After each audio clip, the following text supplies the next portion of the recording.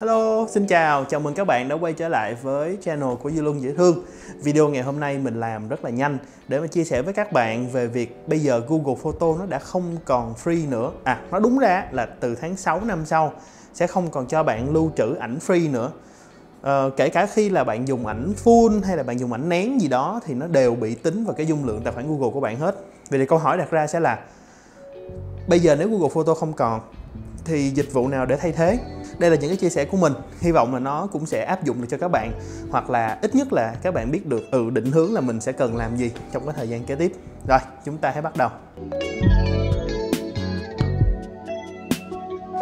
Mình nhắc lại một chút cho bạn nào chưa biết á, thì Google Photo là dịch vụ lưu trữ ảnh. Theo mình là số 1 hiện nay.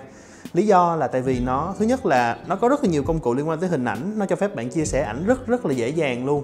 Ngoài ra trước giờ nó còn cho lưu ảnh miễn phí tức là có hai chế độ. Nếu mà bạn lưu ảnh full như là những gì mấy bạn chụp, và nếu mà nó trên 16 megapixel thì ok. Lúc đó Google mới tính phí, còn nếu không các bạn để chế độ mặc định thì cái ảnh của bạn nó vẫn được backup lên Google Photo với một cái độ phân giải tối đa là 16 m thì lúc đó Google có nén lại một chút để giảm dung lượng file, nhưng mà hình ảnh lúc đó vẫn xài rất là ngon, không vấn đề gì hết. Cho nên mình mình và cả nhiều bạn khác đều xem Google Photo là một cái chỗ để lưu trữ ảnh không giới hạn. Tuy nhiên mới đây Google họ thông báo rằng từ tháng 6 năm 2021 thì tất cả các ảnh mà bạn upload lên đó từ ngày đó trở về sau nha, từ đó về trước thì không ảnh hưởng sẽ bắt đầu bị tính vào dung lượng tài khoản Google của bạn. Thì như vậy tức là Google Photo sẽ không còn free nữa, không còn không giới hạn nữa và bạn sẽ phải trả tiền cho chuyện đó. Thì uh, bây giờ mình sẽ chia làm hai trường hợp. Thứ nhất, nếu bạn sử dụng điện thoại Android nếu bạn đang sử dụng điện thoại Android thì khả năng cao là bạn đang dùng Google Photo rồi bởi vì Google Photo có mặt trên rất là nhiều những cái điện thoại Android mặc định luôn, cài sẵn luôn và bạn bật nó lên xài rất dễ dàng, auto backup tất cả mọi thứ, chụp hình về có wifi là up lên, tuyệt vời. À, thì mình nghĩ rằng hiện nay ha không có dịch vụ nào tốt hơn so với lại Google Photo hết cho nên cách tốt nhất đối với các bạn đang sử dụng Android là các bạn bỏ tiền ra mua dung lượng à, đây là cái giá tham khảo của cái dịch vụ Google One. Google One là cái bộ lưu trữ mà bạn có thể mua một cái là bạn dùng cho rất nhiều dịch vụ được. Google Drive, Gmail hay là Google Photo vậy nó cũng đều tính chung như một cái gói Google One này hết rất là dễ quản lý. Hiện tại mình đang dùng Google One lên tới 2T, giá là 225.000 đồng một tháng. Thì mình dùng gói này là lưu trữ video là chủ yếu cho nên các bạn mới thấy là cái dung lượng nó to như vậy nhưng mà thật ra mình cũng xài chưa có hết nữa, mình mua trước thôi.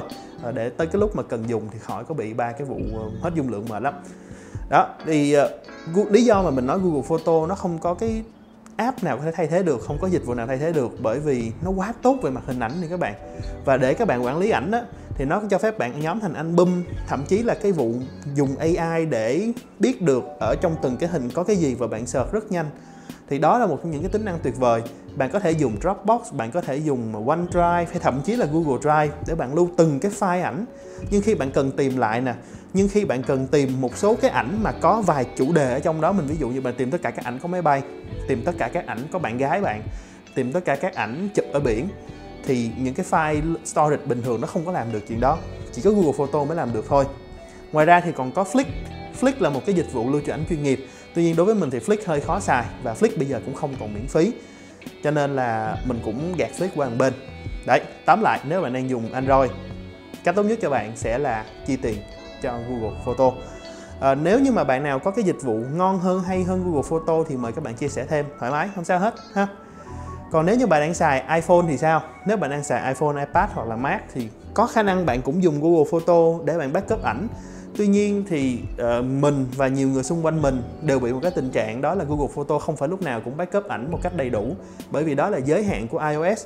Apple không cho những cái app thứ ba chạy nền trong thời gian rất lâu cho nên nó không có backup được đầy đủ ảnh um, thật ra thì cũng có lúc nó backup được đầy đủ nhưng mà iOS sẽ điều chỉnh cái việc đó. Cho nên là đó không phải là một cái giải pháp ổn định và mình và nhiều bạn khác thì thường sẽ dùng cái cách là dùng iCloud để lưu trữ ảnh chụp bằng iPhone.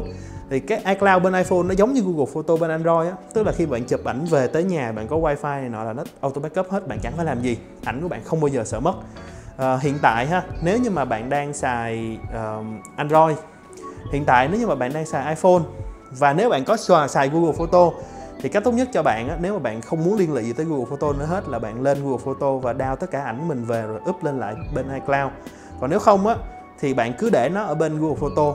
Không sao hết bởi vì cái dung lượng từ tháng 6 2021 trở về trước thì nó vẫn free nó vẫn nằm đó mà đâu sao đâu.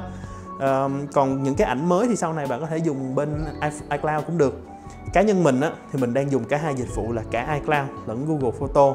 Bên I, bên iCloud là đương nhiên là cái backup chính cho con iPhone của mình rồi. Còn Google Photo thì lâu lâu mình mở ra cho nó up hình lên nó không up cũng không sao hết bởi vì ảnh của mình luôn có trong iCloud không bao giờ lo mất. Uh, gói iCloud mà mình đang dùng là gói 2T và bên iCloud nó có chức năng rất là hay tên là Family Sharing. Thì mình có thể chia sẻ cái dung lượng 2T này với lại những người thân trong gia đình của mình với lại bạn gái mình à, thì như vậy bạn có thể chia tiền đây nó rẻ hơn. Mình thì tất nhiên là mình mình phải trả hết cho tất cả mọi người rồi quá khổ.